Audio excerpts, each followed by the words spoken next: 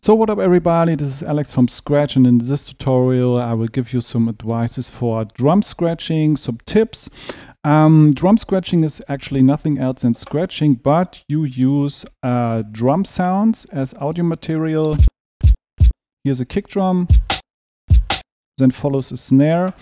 Um, a great advice is when you train drum scratching, uh, play over a hi-hat or rhythmical reference. I've prepared something for you.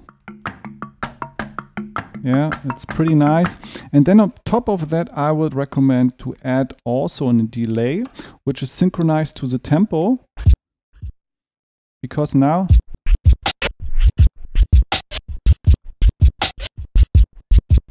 yeah, it sounds a little bit, bit more fluent. So now we combine everything.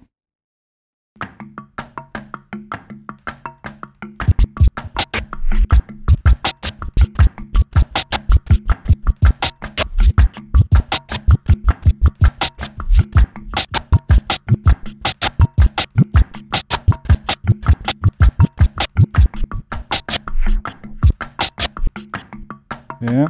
So, and it gives you a lot of possibilities to be creative with this combination. That should be really your setup when you start uh, drum scratching. Um, the first variation or a good start for training is when you count. Yeah, it's uh, really uh, important. Let's say one, two, three, four. One, two, three, four. And now you should place your snare always on the two and on the four sounds like this.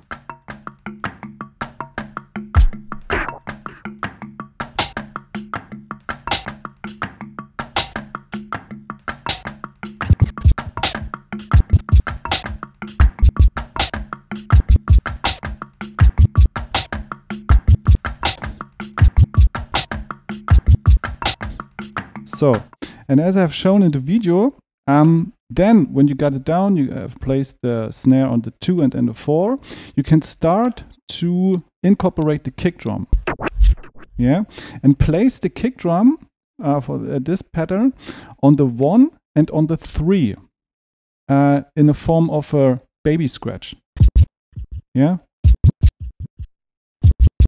a baby scratch and then a forward stroke. As you can see here in the visualizer, this is the forward, the backward stroke, and then additional forward stroke. And then follows, after a 116 rest,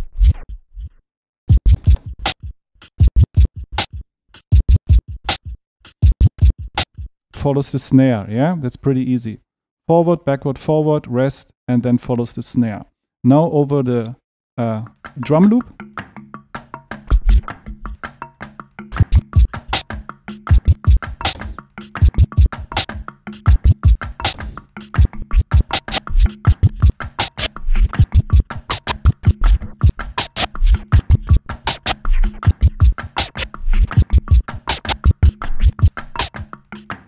So, and when you got it down, try to incorporate some other kick drums, snares, try to play on the crossfader continuative as a sequence, and then you can be creative. Some variations for you.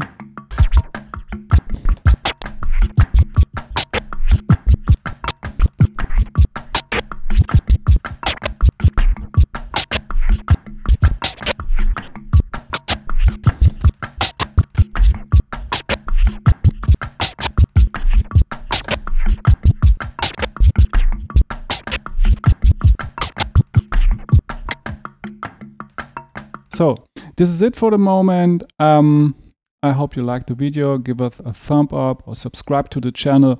More tutorials coming soon. Peace.